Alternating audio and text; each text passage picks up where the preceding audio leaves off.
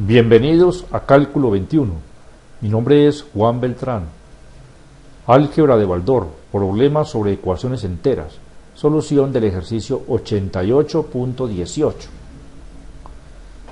El enunciado del problema es el siguiente.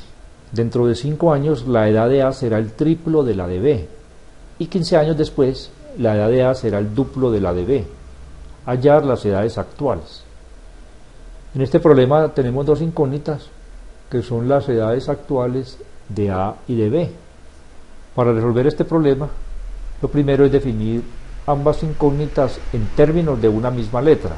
En este caso vamos a utilizar la letra X. Sea X edad actual de B. X más 5 va a ser la edad de B dentro de 5 años.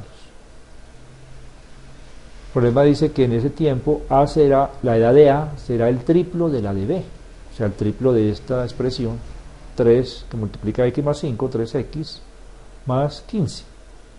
Esa es la edad de A dentro de 5 años. Para averiguar la edad actual, pues a esta expresión le restamos 5. O sea, 3x más 15 menos 5, igual a 3x más 10. Esa es la edad actual de A. Y 15 años después, 15 años después, como, o sea, 15 años después de 5 años, o sea, dentro de 20 años o sea, x más 20, edad de b dentro de 20 años. En ese tiempo la edad de A será el duplo de la de B.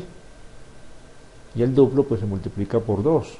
2 por x más 20, 2x más 40. Esa va a ser la edad dentro de 20 años. Para encontrar la edad actual de A, pues a esta expresión le restamos 20. Aquí lo expresamos, 40 menos 20 igual a 20. Entonces 2x más 20 va a ser la edad actual de A. De tal modo que ahora ya estamos en condiciones de obtener la ecuación. Aquí tenemos esta expresión que permite calcular la edad actual de A. Y aquí también. Con esta expresión también podemos calcular la edad actual de A. Entonces igualamos las expresiones. O sea, 3x más 10 igual a 2x más 20. Esta es la ecuación, vamos a resolverla. Lo primero es pasar los términos que tienen la incógnita x al miembro izquierdo. Los que no tienen la incógnita x los escribimos en el miembro derecho. Los que se mueven de un sitio de la ecuación al otro cambian el signo. Los que permanecen en ese en el miembro que estaba, pues eh, mantienen el signo pasamos 2x del miembro derecho al izquierdo como menos 2x y 10 del miembro izquierdo al derecho como menos 10. Reducimos términos semejantes, 3x menos 2x igual a x, 20 menos 10 igual a 10. Hemos encontrado la edad actual de B. Para encontrar la edad actual de A, pues utilizamos o esta expresión o esta. Vamos a utilizar esta, perdón, esta.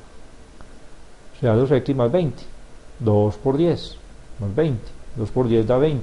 20 más 20 igual a 40. Respuesta. Actualmente A tiene 40 años de edad y B tiene 10 años. Hemos concluido con la solución de este problema.